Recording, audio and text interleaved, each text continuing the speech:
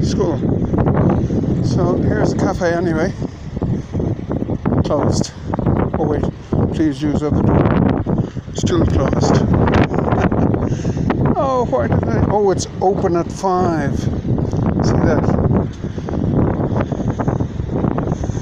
Uh, locally sourced seafood.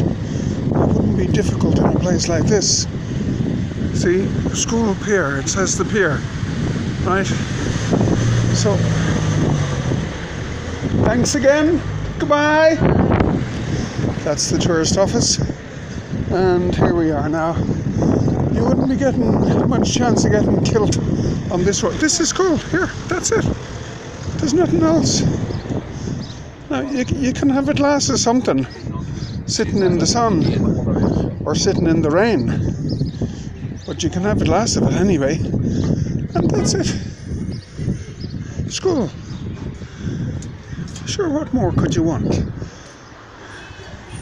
There's a wind here now, I can tell you. Ah.